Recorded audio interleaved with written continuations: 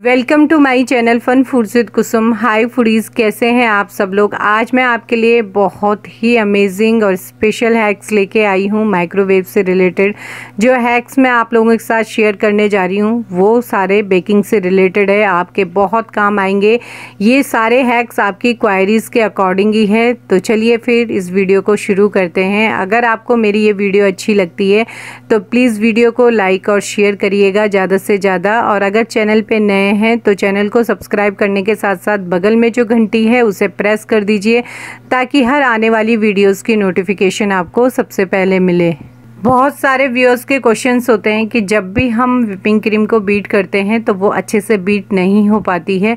और जब हम उसकी फ्रॉस्टिंग तैयार करते हैं तो केक पे अप्लाई करने के बाद फ्रॉस्टिंग फैल जाती है या फिर बहुत पतली हो जाती है। तो इसी डाउट को क्लियर करूँगी मैं इस हैक में। तो सबसे पहले हमें यहाँ पर विपिंग क्रीम लेनी है। आप किसी भी कंपनी का विपिंग क्रीम ले सकते हैं। और जब आप इसे बीट करें तो उससे पहले आप इसे फ्रीजर से निकाल के फ्रिज में रख दें, कम से कम तीन से चार घंटे ताकि ये थोड़ा सा लिक्विड कंसिस्टेंसी में आ जाए। अब आप बाउल में डाल दीजिए विपिंग क्रीम जितनी भी आपको यूज़ करनी है और उसके बाद हैंड बीटर लेना है। ये मेरे पास इलेक्ट्रॉनिक हैंड बीटर है। देखिए विपिंग क्रीम अगर आपको परफेक्ट बनानी है तो इसके लिए आपको इलेक्ट्रॉनिक हैंड बीटर की ज़रूरत पड़ेगी। वैसे तो आप विस्कर से भी इसे वीट कर सकते हैं, पर वो बात बिल्कुल नहीं आती है। जितने अच्छे से इलेक्ट्रॉनिक हैंड बीटर से बीट होती है, उतने अच्छे से विस्कर से बीट नहीं होती है क्रीम तो स्टार्टिंग में हम इसे स्लो रखेंगे, यानी इसे एक और दो पॉइंट पे रखेंगे, कम से कम एक से दो मिनट, क्योंकि क्रीम में क्रिस्टल होते हैं तो उनको हमें रिमूव करना होता है।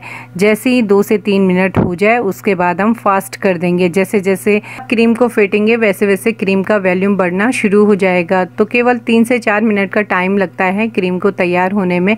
जैसे कि आपको पता ही है, आजकल गर्मियों का टाइम है, या फिर आप बहुत गर्म जगह में रहते हैं तो इसको एसी वाले रूम में फेटिए। अगर आपको एसी वाले रूम में नहीं फेंटना है तो आप एक बाउल लीजिए, उसमें बर्फ़ के क्यूब्स डालिए और उसके ऊपर रखिए क्रीम वाला बाउल और फिर फेंटिए। इससे क्या होता है कि क्रीम को ठंडक मिलती है। जितनी ठंडक क्रीम को मिलेगी, उतनी ही बढ़िया हमारी फ्रॉस्टिंग तैयार होगी। तो बस यहाँ पर हमारी ये क्रीम एकदम परफेक्ट तैयार हो गई है। ये देखिए, बिल्कुल भी ड्रॉप इसका नीचे नहीं आ रहा है। एक पॉइंटेड शेप ले लेता है। तो इसका मतलब ये है कि हमारी क्रीम यहाँ पर परफेक्ट तैयार है। तो तैयार क्रीम को आप हम डाल देते हैं पाइपिंग बैग के अंदर और इसके बाद आप किसी भी रेसिपीज़ में यूज़ करिए। जो भी आपको डिज़ाइन बनाना है, वो बनाइए। एकदम परफेक्ट क्रीम बीट होके तैयार हुई है। चॉकलेट हम बहुत सारी रेसिपीज़ में यूज़ करते हैं स्पेशली बेकिंग हो या फिर डेजर्ट लेकिन इसको मेल्ट करने का भी एक सही तरीका होना चाहिए। किसी भी रेसिपीज़ में हम चॉकलेट को मेल्ट करके ही डालते हैं। अगर आपके पास माइक्रोवेव है तो इसमें भी आपको तरीका आना चाहिए कि कौन सा तरीका है जिससे हम एकदम परफेक्ट कंसिस्टेंसी की चॉकलेट को मेल्ट करें। तो यहाँ पर मैंने लिया है डार्क कंपाउंड चॉकलेट इसके छोटे छोटे पीसेस कर दिए हैं। माइक्रो से बॉल लेना है। इसमें हम इसको डाल देंगे। देखिए, आप इसे डबल बॉयलर में भी कर सकते हैं, लेकिन उसमें बहुत ज़्यादा टाइम जाता है। लेकिन फटाफट अगर आपको काम करना है तो आप इस प्रोसेस को कर सकते हैं। उसके बाद इसे फटाफट माइक्रोवेव में डालेंगे। अब आपके माइक्रोवेव का सबसे लोएस्ट जो टेम्परेचर होगा, वो सेलेक्ट करना है और तीन मिनट का टाइम लगा देंगे और स्टार्ट कर देंगे। तीन मिनट में जो चॉकलेट है, हमारी काफ़ी हद तक गल जाएगी। थोड़ा सा हमें इसे मिक्स करना है ताकि जो नीचे इसके पीसेज हैं, वो मिक्स हो जाए। उसके बाद एक मिनट का टाइम लगाएँगे लोएस्ट टेम्परेचर पे और एक मिनट में जो हमारा यहाँ पर चॉकलेट है, वो अच्छे से मेल्ट हो जाएगी। टाइम पूरा हो चुका है, निकाल लेते हैं चॉकलेट को और ठंडी होने के बाद भी आप देख सकते हैं, ये देखिए कितनी अच्छे से इसकी कंसिस्टेंसी आई है। ना तो हमने इसमें पानी का यूज़ किया है, ना ही दूध का। तो इस तरीके से आप माइक्रोवेव में चॉकलेट को मेल्ट कर सकते हैं। आप बनाएँगे हम यहाँ पर क्विक और बहुत ही हेल्दी एक छोटी सी रेसिपी हम बनाएँगे सूजी के मग केक एकदम सॉफ्ट स्पॉन्जी और मुँह में घुल जाने वाले। फटाफट से माइक्रोवेव में हम इसे बनाएँगे। दो मिनट के अंदर बहुत ही ज़्यादा ये टेस्टी होते हैं तो इसके लिए लेना है हमें एक बॉल बॉल में डालेंगे हम सूजी तो मैं डालूँगी यहाँ पर एक कप सूजी। सूजी मोटी हो या बारीक, दोनों ही चलेंगी। उसके बाद इसमें हम डालेंगे दूध। दूध जो डालेंगे वो नॉर्मल टेम्परेचर पर होना चाहिए। उसके बाद हम इसको थोड़ा सा मिक्स करेंगे और मिक्स करने के बाद हम इसमें थोड़ा सा दूध और डालेंगे। दूध बहुत सारा हमें एक साथ नहीं डालना है और उसके बाद जब ये अच्छे से मिक्स हो जाए तो कम से कम हमें इसे आधे घंटे के लिए सोख करके रखना है क्योंकि जो सूजी है वो फूलती है। तो इसको हम टाइम देंगे ताकि ये सॉफ्ट भी हो जाए और सूजी अच्छे से फूल भी जाए। जितने अच्छे से सूजी फूलेगी, उतने ही बढ़िया हमारे मक्के बन के तैयार होंगे। तो यहाँ पर मैं आधे घंटे के लिए इसे छोड़ देती हूँ। ये देखिए आधा घंटा हो चुका है। सूजी हमारी बहुत अच्छे से फूल चुकी है तो इसको मैं डाल देती हूँ जार के अंदर। अब हमें इसमें थोड़ा सा दूध डालना है। बहुत ज़्यादा दूध अभी ना डालें। उसके बाद इसमें हम डालेंगे चीनी। तो चीनी आप अपने टेस्ट के अकॉर्डिंग डालिए कि आपको कितना मीठा चाहिए।